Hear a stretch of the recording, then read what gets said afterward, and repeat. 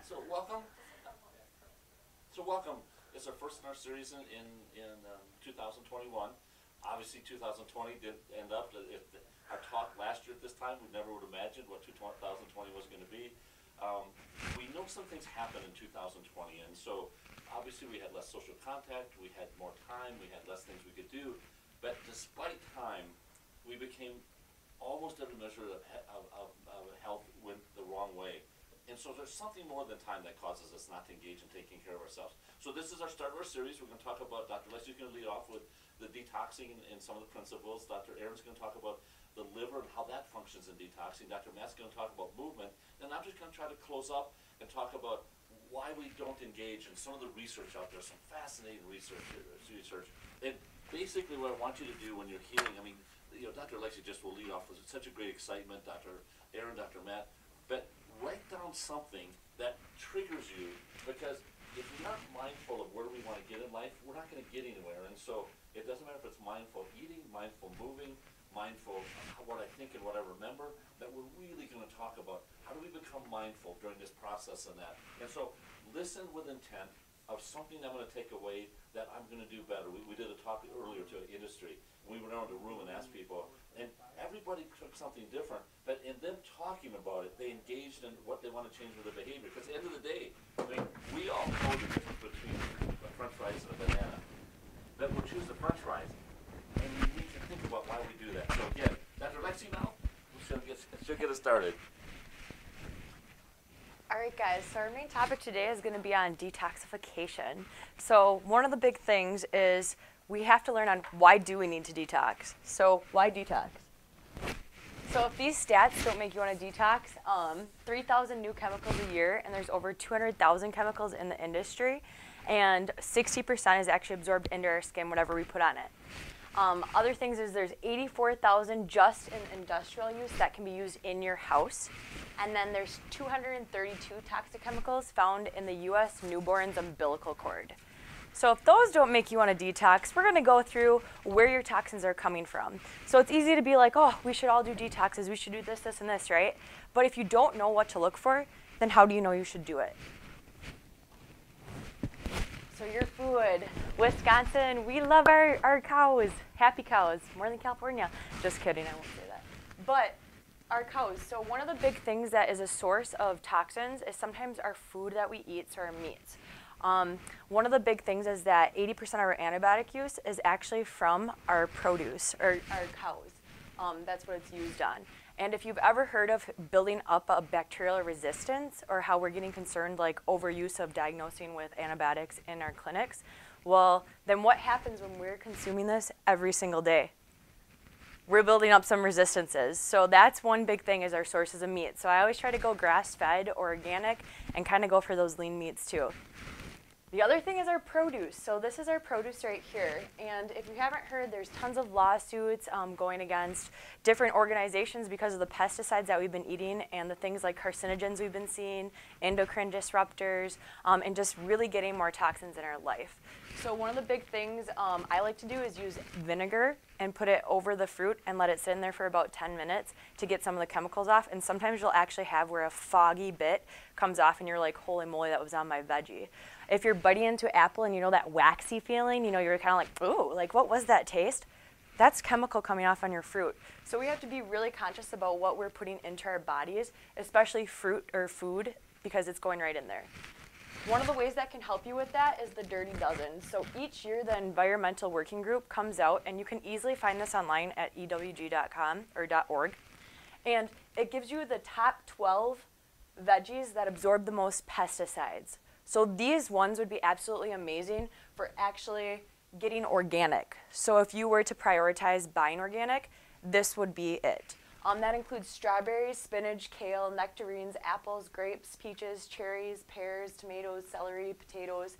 Strawberries and that spinach are probably their top one right there. So, and that's their fourth year of being on this. So when you're kind of making the decision between a couple dollars and trying to detoxify a little bit, this is where you're going to help out big time. Clean 15 is the opposite, so these ones are not as important to get organic, but if you can do it, I would definitely get these organic still too. With the Clean 15, a lot of them have where it's got a little bit of a shell on it, and that helps so it's not absorbing so much of the pesticide. So that's super, super important. Next, we're coming here, and some of these letters and abbreviations and stuff, I'm like, holy shnikes, what is all of this? Um, if you look on the back of the boxes, that's one of the biggest things that you actually can do is like, what am I putting into my body? Um, the first one is artificial color. Uh, if you didn't know this, a lot of countries actually have made like red dye number 550 million, whatever. It's been illegal in other countries.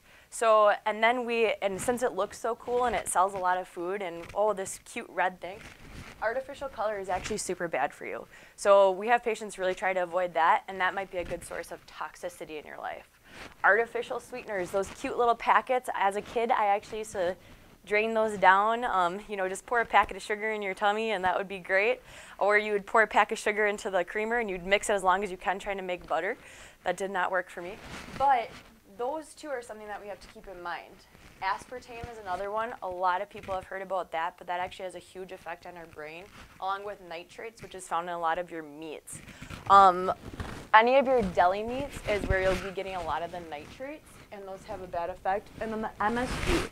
MSG is probably one of our biggest um, monosodium glutamate is one of our biggest offenders, but with MSG that actually activates your brain. So your cells start going, it gives a little inflammation there. So our athletes who get a lot of whacked in the head, sometimes it's that MSG that can do it, and that's found in a lot of, um, well, some of like the sauces we use, and you know what? They have about 50 different names for that. So if you want to look up, literally look up monosodium glutamate and then look up the different names of it because they literally call it natural flavors in some of our sauces. So that's kind of scary because imagine your athlete is eating a bunch, goes out for a Chinese buffet, low quality one because there is some good places, eats all that, goes and plays on the ice, gets whacked, gets a concussion 10 times easier than they should.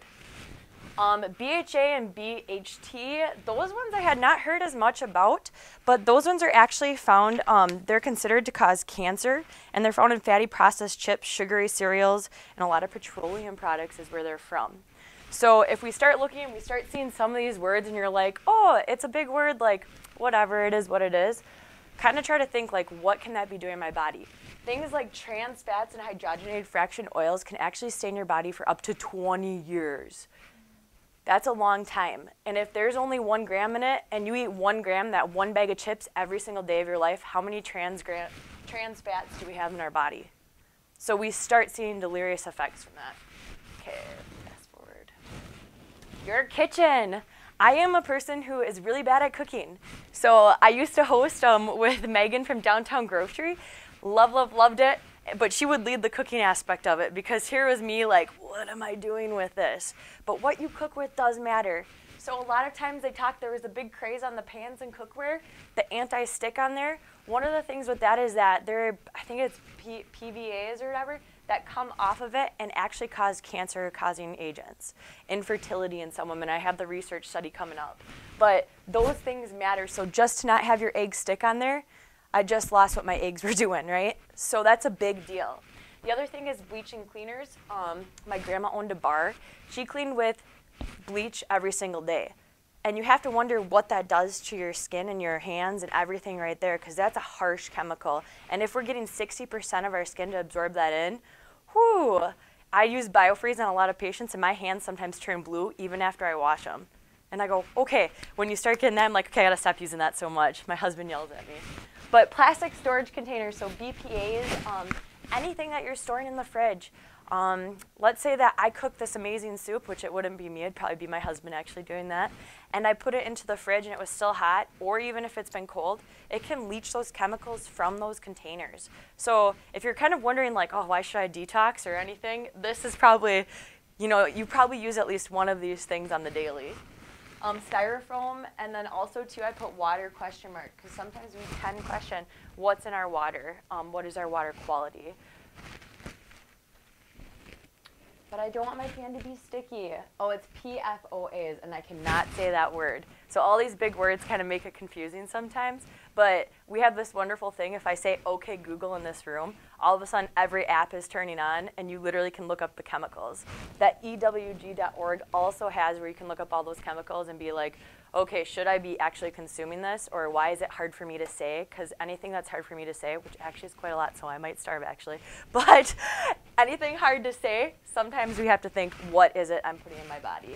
And this is just um, solidifying that infertility and weight gain with those sticky pans, non-stick pans.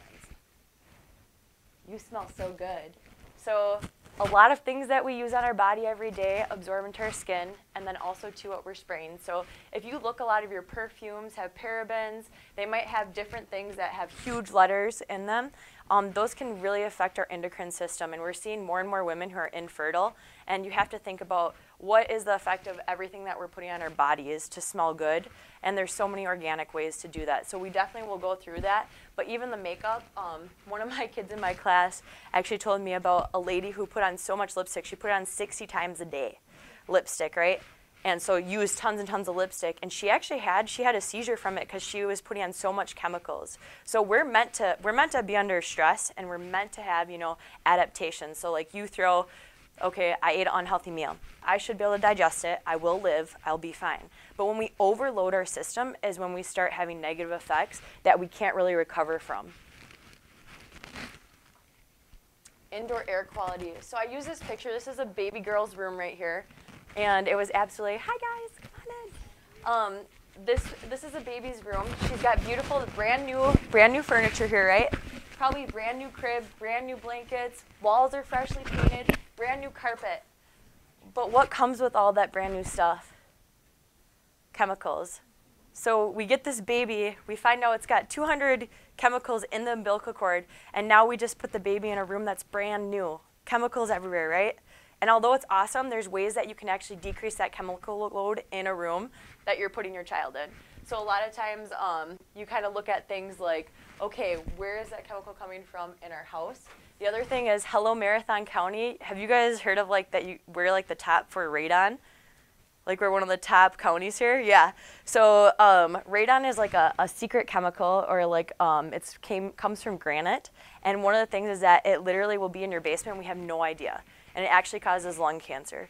So getting things like that tested, pretty obvious are like carbon monoxide. A lot of people have testers there, but then the not so obvious would be those paint and carpeting flame retardants baby's clothes are actually sprayed with flame retardants when you get them.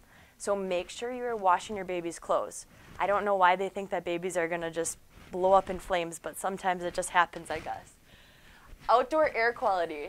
So um, this is another one. There's tons of research coming out on Roundup. If you guys didn't hear about the billions and billions of lawsuits coming through, um, it's kind of a big deal and it's having a lot of effect on, on the people around us. So Roundup pesticide killers, some of the Miracle-Gro, and then things like factories and car fumes. So when you get into your car and there's that beautiful, nice smell of it's a brand new car, you're actually sniffing in a lot of chemicals there. Um, which uh, literally I was so proud when my car still smelled new. I was like, oh yeah, keep that in there. Like, don't even open the windows. We probably need to open the windows right there. So this is just saying um, there was a study done by, I think it was University of Washington, and gly- glypho- glyphosate, glyphosate, got it. Um, it actually showed that glyphosate um, increased the risk of cancers by more than 40%. Now, that's a, that's a big deal. So remember that adaptation, our bodies cannot adapt. That's something to do with why we get cancer sometimes. We can't adapt. We start forming cells that aren't the right cells over the top ideas to promote detox. So enough of the negativity. We're gonna get these docs up, but first, um, I'm just gonna give you a few tips that I like to use in my life as much as I can. Um, when I did my first detox at Bautch, I was like really tired for like three days, but I had a pretty. I mean, if you haven't heard of my ketchup and a little bit of uh, sandwiches just of ketchup or my cereal binges every single night or anything like that. I mean, I was not the epitome of health when um, I first started like college and going to chiropractic school and stuff. So right here, um, when I first did that detox, I, it kind of was like, whoa, here we go. But Dr. Aaron will kind of go through why that happened to my body. But also too, um, things that you can do is eat the organic and avoid the dirty dozen. Buy those organic. Um, clean your veggies if you're not going to do organic. Well, you should clean your veggies anyways, because I think I've seen like 50 people poke their finger into avocado or like an apple every time you go to the store. Um, so clean your veggies with vinegar or whatever sprays you like to use. Make your own cleaning products or use trusting brands.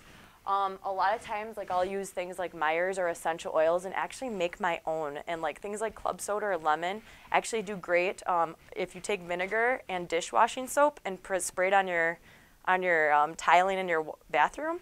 That works like a miracle, and you're you're not breathing in bleach or anything. Um, avoid Roundup or outdoor chemicals. Um, that one I, I do like to kill plants in my yard with. So I tried using also vinegar. Vinegar is like an amazing thing, and it did work. Uh, sometimes you might have to cut it out though, because that stuff gets pretty crazy. Um, get clean body products. If you go to ewg.org, you can actually look up your makeup and body washes or anything that you use, and it will put it on an index, and it will say like whether it's endocrine disruptor, if there's cancer-causing agents in it, like what is dangerous about this product and why it's dangerous. Um, check your food. Avoid the sneaky additives. If you love things like dressing or different things like that, um, it's it's one of those things that they sneak things in there. It's not like we're like, oh, you know, so if like a Twinkie, we know a Twinkie is not healthy for us, right?